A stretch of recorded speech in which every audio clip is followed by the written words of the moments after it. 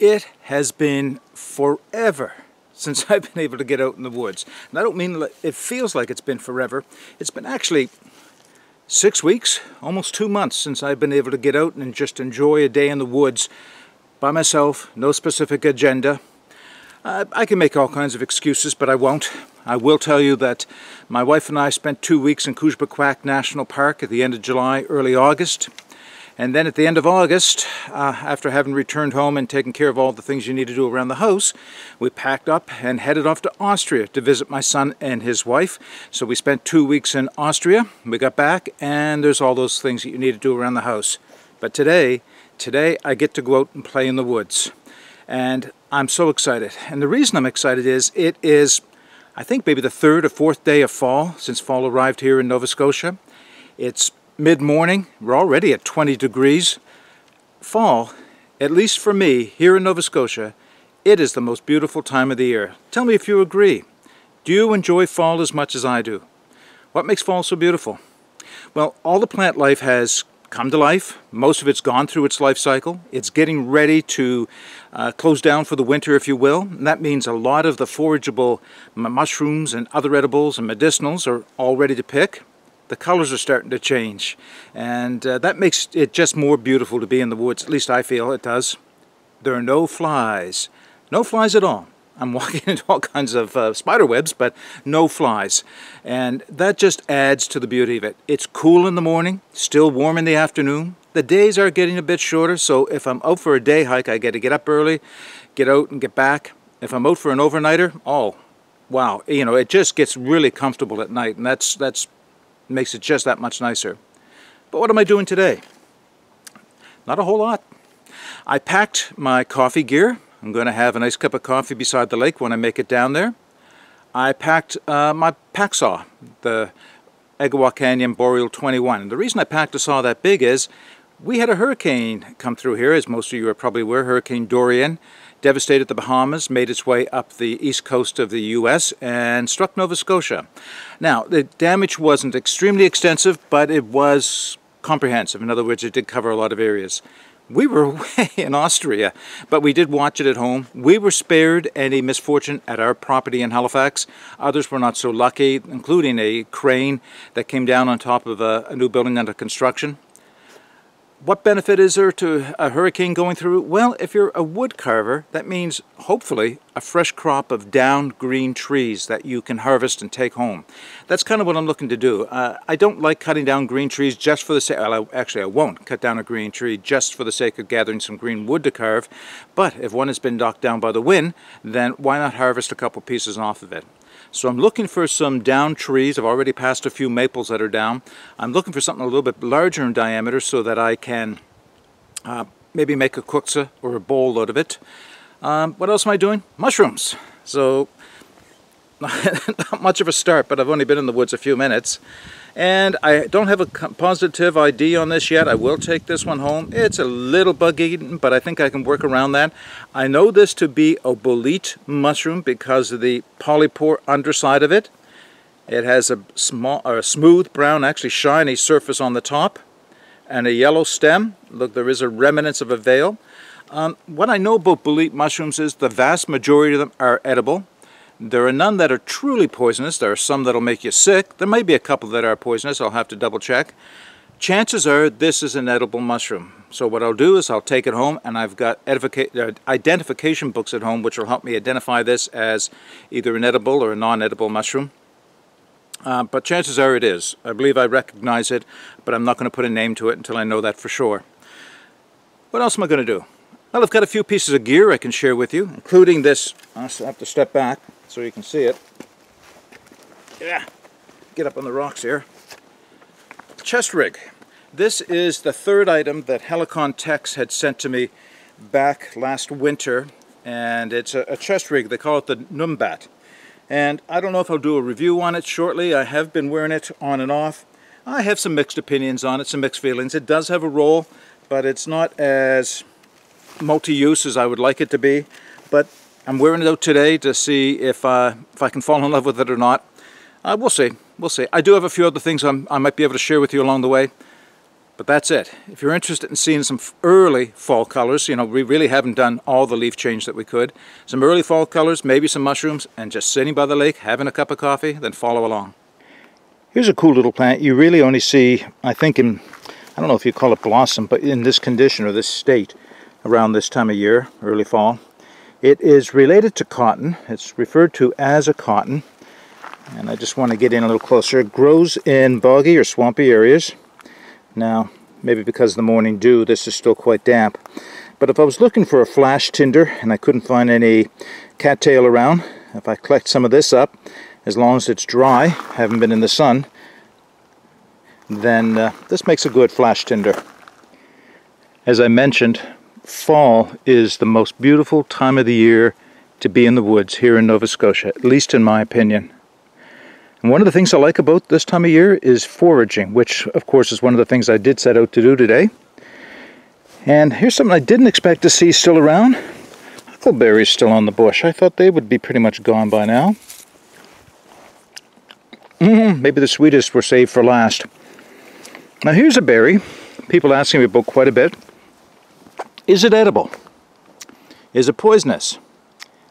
Well, It's not poisonous, but it's not edible. This is mountain holly. Looks like a little cherry, but it's not. It's got a, uh, I, I call it a pastel red. That's probably not the best way of describing the berry. But uh, try one. You won't, you'll probably spit it out. I, am pretty sure you'll spit it out. It'll pull your cheeks together. They're so astringent. Uh, I'm suppose if you were able to get them down, you might make yourself sick but one berry's not going to hurt you. But I, I'm pretty much guaranteed you're not going to eat these. They're uh, not very tasty at all. But there are plenty of other things that I'm going to be able to find that are. So let's keep looking. From what you can see around me, I'm in some pretty dense wood. By the way, that's my path that goes up over the hill there, so I have to hike up that in a second. But before I do, Look at the size of this thing. I'm going to have to get down there, put my hand across it. Yeah. It's as big as my hand, or bigger. And from the look of them, I do believe these are an amanita mushroom. Based on their color, the fact that they're gilled, and the fact that they have the little, almost like a candy coating on top of them. Not edible, most of which are poisonous, or at least to will make you very sick. But always fun to find different mushrooms in the woods, especially where you're not expecting to see them.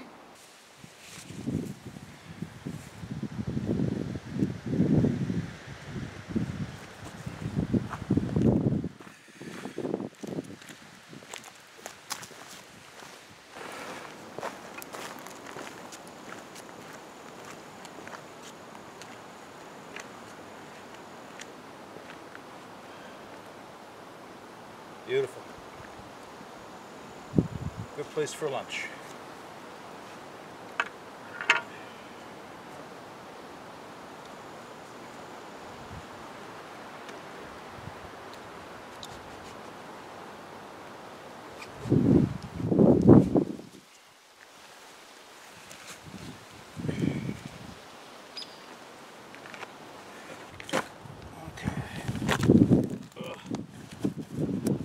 I think this is where I'll set up and have some lunch. My little McKinley chair. I'm loving that so far. Ah, some berries collected along the roadway. Kneeling pad. Oh, that's great for the old knees. So it's a nice little rock shelf where I'm sitting right now and uh, I'm just looking for a place to set my chair up and then I'll set up my little alcohol stove and heat up some lunch.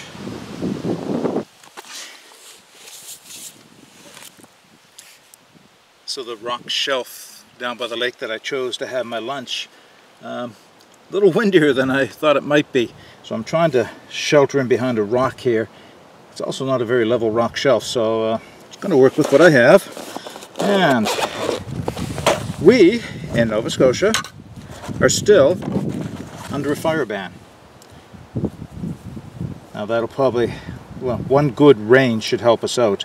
In fact, a lot of the province has had its fire ban lifted, but not here. We haven't had enough rain. So, as a result, I'll be using alcohol today. And I'll be using my Firebox Nano as the setup for this. Get the sticks in here properly.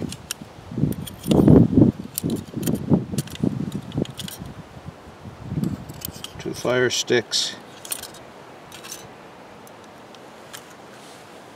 That should work here.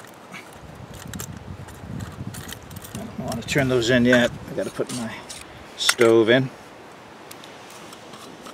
This is my Alox Trangia knockoff stove. Works well.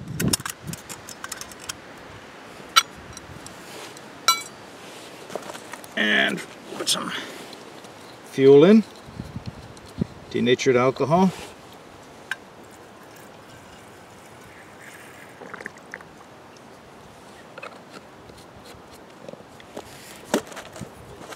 A windscreen I'll set up around it.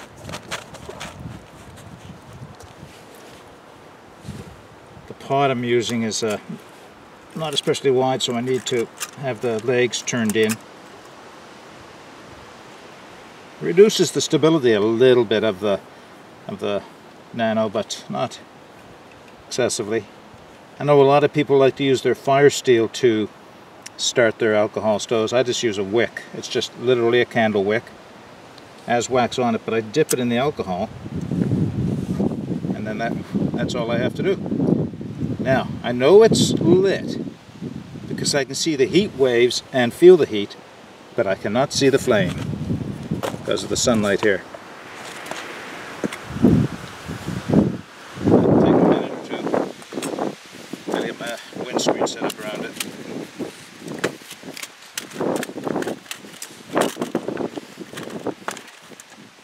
Yeah, that'll help. Lunch today. Well, here's a cook kit you probably have not seen me use before. It's one of those anodized aluminum two-piece cook kits. Coffee. I don't use it very often because, well, to be honest, I just have so many cook kits. Fits on like that. But it's a nice, lightweight, good volume pot. And it'll work just right for what I'm putting together here. See, it's not very level here, is it? and my lunch, I was going through the things that I have. Look, this is kind of appropriate for at least this time of the year. Pumpkin beef soup. so uh, it's a dehydrated package of uh, pumpkin soup. You add your beef. It, there's no beef in this. I, I kind of hoped when I had uh, gotten it, but no. And you add two cups of water to it I do have some beef that I will add to it. Oh, that wind. There goes my chair in the lake, folks. Got to run and get my chair.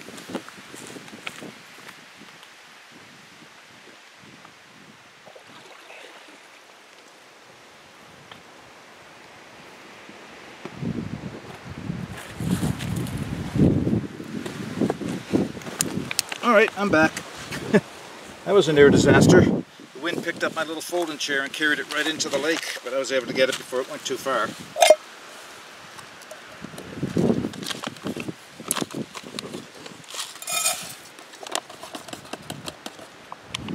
Alright.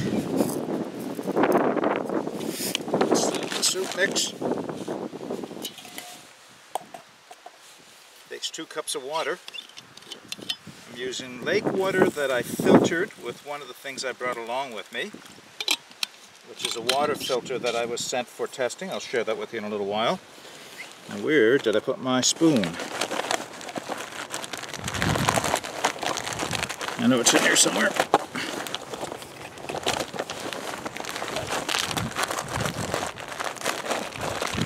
There it is.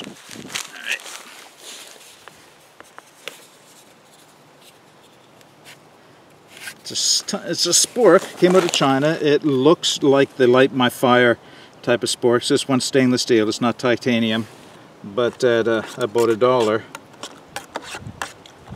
works well for this. I'm not a fan of the plastic Light My Fire sporks. One, they're short, but two, they break easy.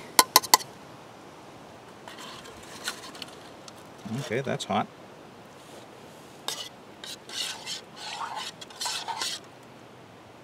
It looks about as stable as I can expect it to be. Put the lid on. Now, what I'm going to be adding to that, it's uh, beef jerky. It's the nugget kind, so it's not real jerky. You get it in nuggets. You can get in different places. Costco's one place. Uh, I think I got these ones at Walmart. So I just have a few pieces here. I'm actually going to cut them up a little bit as this heats up. So in fact, I think what I'll do is uh, stop the camera now and just uh, work on my lunch. And when uh, my lunch is ready to eat, I'll sit back and uh, you can enjoy it with me. So while I wait for my uh, soup to finish simmering, I thought I'd just share this with you. I'm right at the edge of the lake, and not uncommon right along the edge of the lake to find this, cranberries. Not quite ripe, as you can see. Usually wait later in October maybe even after the first frost. To start picking them but all along the edge of the lake here are cranberries so I may just make my way back here in a month's time and see if I can't get a few pounds of cranberries. Okay well super man that turned out quick. I don't know if you'll be able to see this. I'm going to try and show it to you. Hopefully you can see that. I guess the mix is like one of those instant chicken noodle mix, ch chicken noodle soup mixes. There's noodles in it, but the pumpkin thickened up very nicely. And the beef that I had, it was a good thing it was soft. If, if it was true jerky, it would never have softened up uh, in, in the time that I had it in the water anyway. But it cooked up nice. I think it should be ready to eat. Let's give it a try. Still a little bit of warm, still very good. Okay, um, there's a lot of wind where I'm at right now. Hopefully you'll be able to hear me as I speak. Put that down. Microphone is sitting right here on my on my shirt. So, a little bit of a catch up. What's been going on? On September 1st, I had, well, actually before September 1st, sometime around the 30th, I exceeded 10,000 subscribers. Wow. Uh, I just I just didn't expect to do that. That's three years of YouTube videotaping. I have a couple hundred videos out now. I'm having a lot of fun with it. But as I mentioned in an earlier video, it was starting to get expensive coming out of my own money to buy all the things that people wanted to see on YouTube so I monetize my videos and I'm starting to get a very, very modest income out of it. No, I, I can't even say it's an income. I, I would call it almost like tips or gratuity.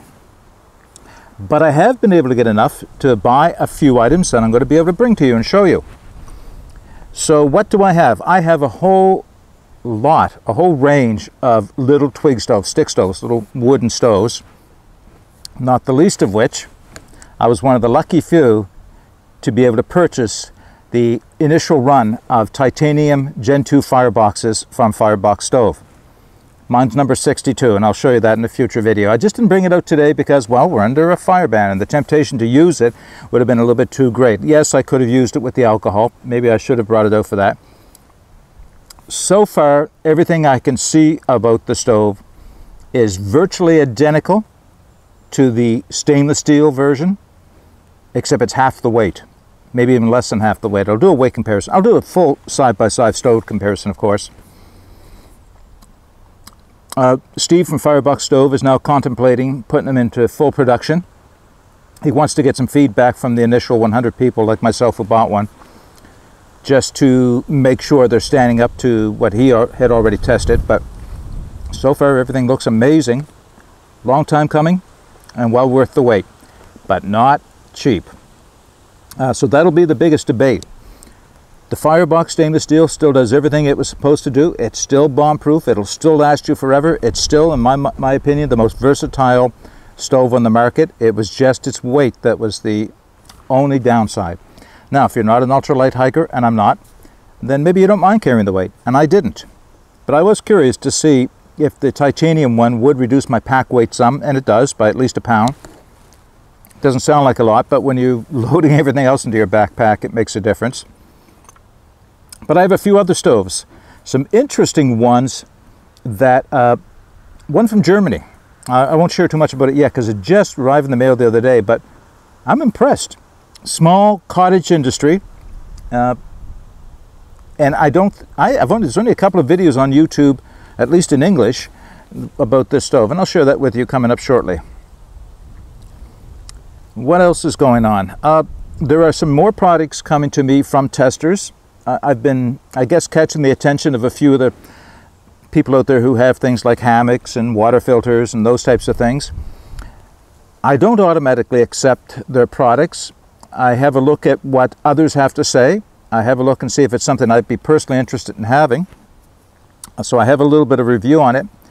And then when I reply back to the companies, I let them know right up front how I will test it and my honesty that'll go along with that. So uh, they seem to be worth, or they seem to be okay with that. We'll see. Nothing is perfect. There is probably fault I could find with everything, but I will share with you what I feel is good about each of these products and what I feel is a amiss or could be improved upon. Speaking of products, I mentioned this when I first started. This is the Helikon-Tex Numbat chest rig, the third of the three products that Helicon Test Techs sent to me some months ago, many months ago now. And uh, I left this one for last because even though it was something I didn't expect them to send for, I just said it would be interesting to have one of these. They sent it to me. Um, I don't know. It's it, it may not fit into my normal use. The concept is it's a chest rig that you can put everything that you might otherwise have in your pockets or things that you want from your backpack, but you don't want to have to take your backpack off every time to reach them. You can kind of carry them right here on the chest. Uh, and another day I'll show you my loadout for this this rig. Um, it is it's what can I say about it? It's convenient. So far I've only really used it during the warmer months over a shirt. I can get very warm next to my body, but there is padding on the back. I think the padding is not so much for comfort as it is for perspiration. Um, it's an interesting idea. I think people who are in search and rescue would really enjoy this. But it's nice to have it hands-free. It's nice to have all that stuff out of my pants pockets and shirt pockets and jacket pockets.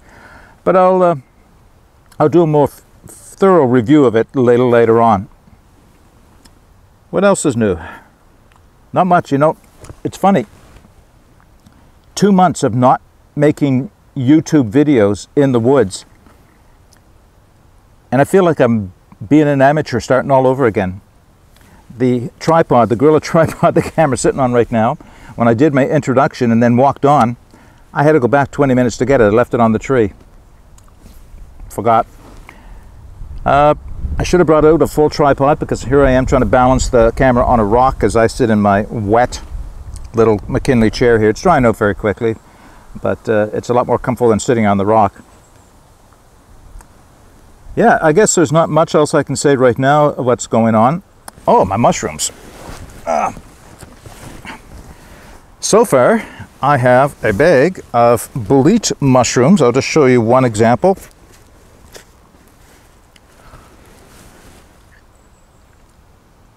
I believe right now them all to be edible. They all pass the initial tests on edibility, but I have some good books at home on mushroom identification and access to a few experts as well.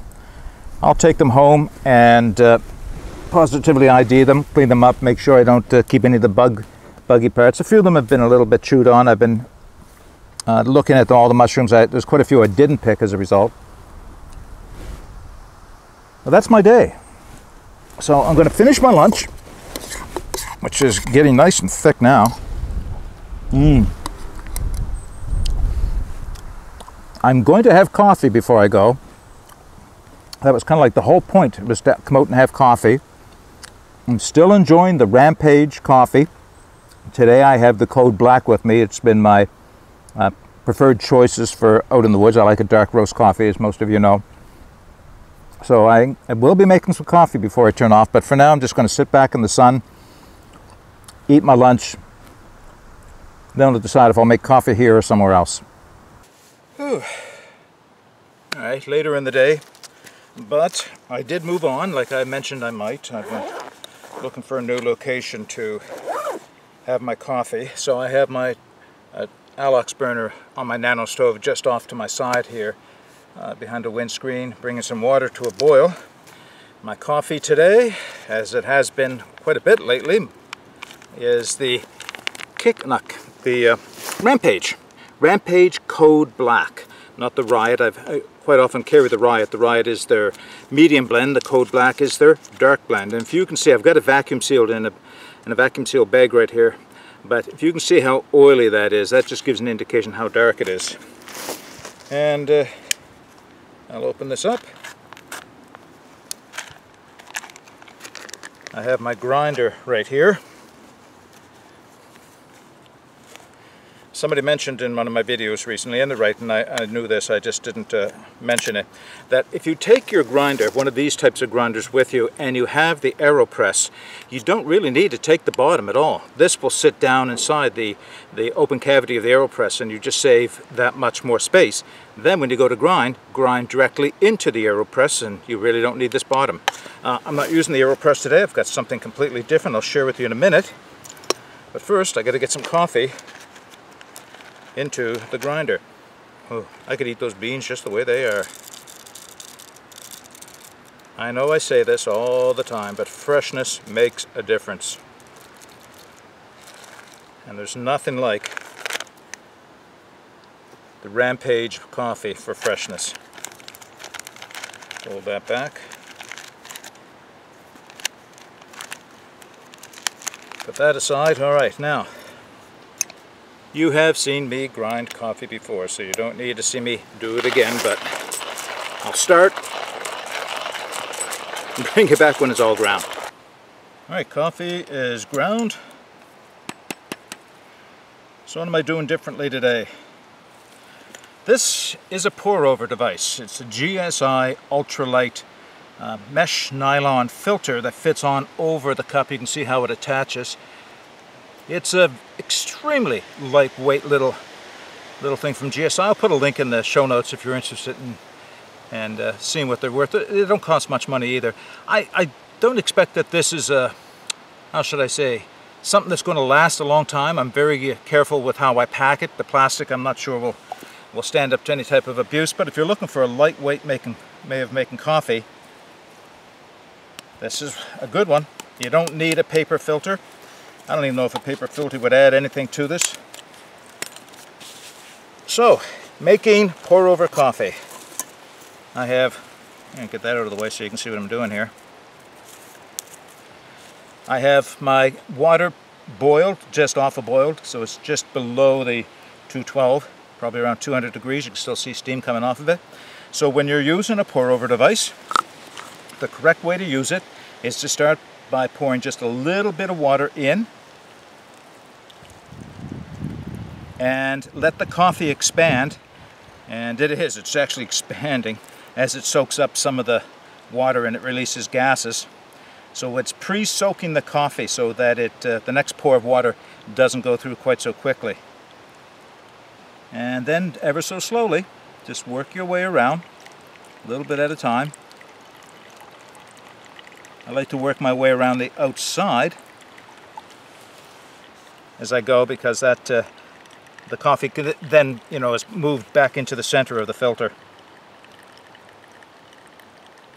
So it's not real fast. In fact, it's a bit of a slow way, but it's a very tried and true method to pour over.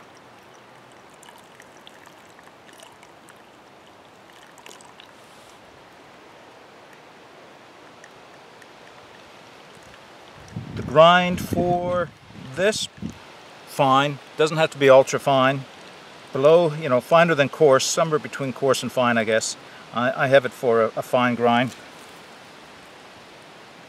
I had the, uh, the grinder set for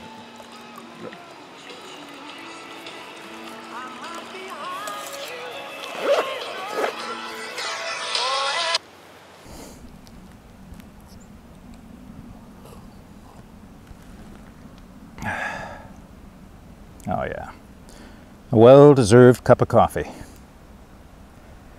What a beautiful day it's been. I've been out all day. I haven't been filming near as much as I have been walking, hiking, finding mushrooms, looking at different things. I think I mentioned it earlier. A, it seems like I'm out of practice. It's like afterwards I go, oh, I should have had the camera on for that. Maybe I can go back and get it. Nah, it's never as good looking at something the second time as it is the first time. So well, there'll be lots of opportunities to do that in the future. Right now, though, it's all about sitting back. I'm on a hike right now looking over part of the lake, a little cove of the lake here. I'll show it to you in a minute, but I'm just sitting back with my coffee. Oh, my little McKinley chair. Which I am truly appreciating as my body gets older. Comfortable. The sun is just off to my left, setting. Well, not setting. I mean, it's still got a few hours left. Well, how much has it got left? Oh, about four hours before it really goes down. But it's uh, mid-afternoon, late afternoon.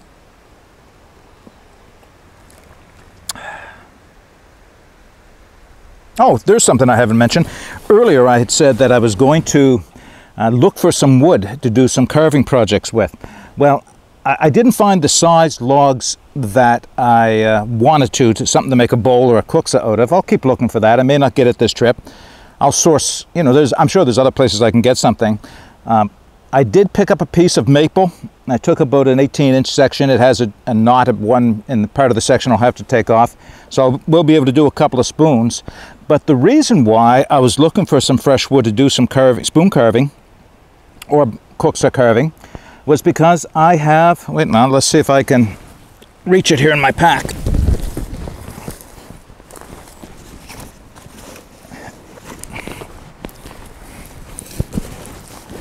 I have a new carving kit. It is, uh, well, you've probably heard of these. My friend Wade over at uh, Woodswalker 1965 has been a big, been a big proponent of these. This is the Beavercraft company.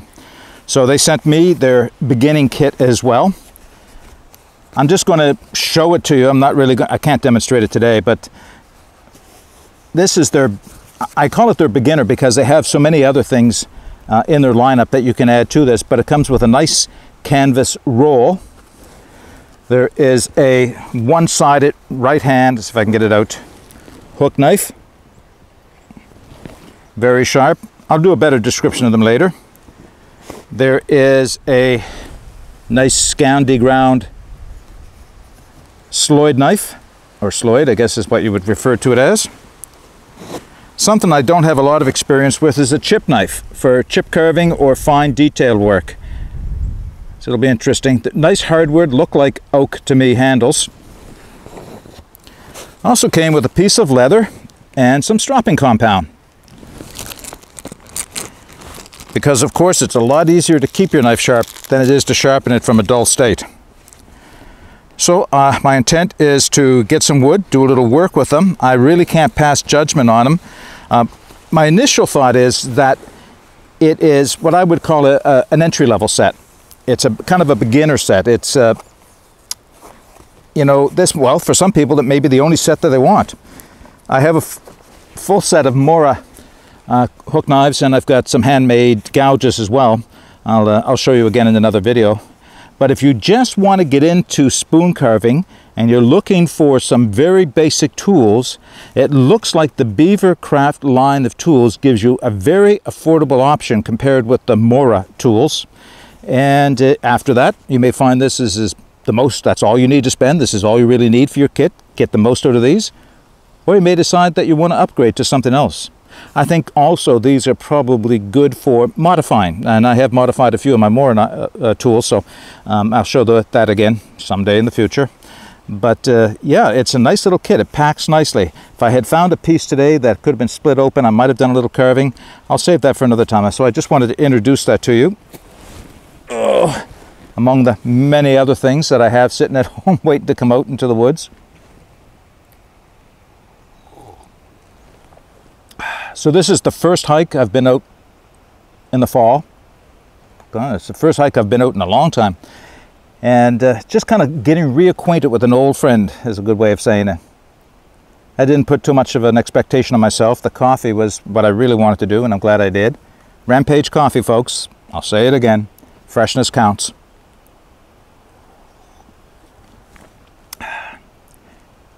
And then, uh, as fall comes on and the fire ban is lifted, I have all kinds of stoves to play with out here.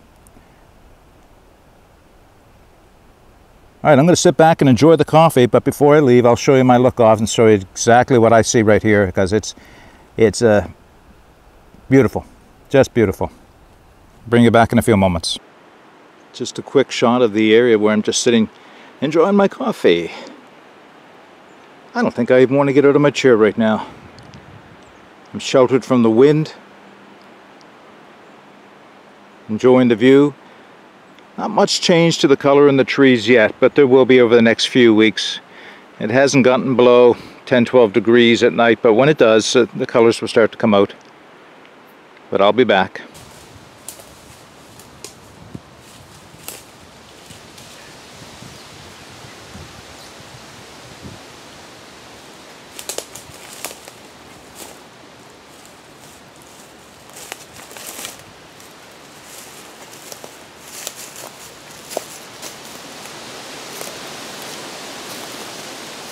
What I just found. Puffball. Yeah, I think it may be gone. I'll have to open it up to have a look. There's a few things you have to do for identification of puffballs before you know whether or not they're edible. This one doesn't feel too firm. I suspect if I open it up I'm just going to get a face full of spores. I'm going to put that on the ground for a minute. But there is my bag of boletes for today. I found a little bit of Labrador tea few other small things to go along with it but uh, all in all for reintroduction to the woods after six weeks almost two months out of the woods it was a good day. Enjoyed a good cup of rampage code black coffee enjoyed a nice pumpkin beef soup something I've never had before. It was a little bit salty but uh, you know it wasn't bad it wasn't bad. Very easy to cook up.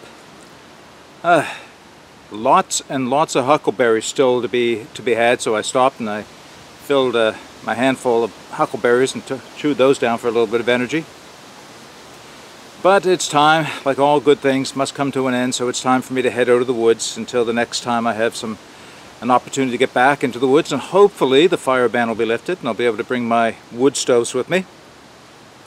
But until then, do what I did today, get out and explore, and take that path less traveled. It'll make all the difference. Bye for now.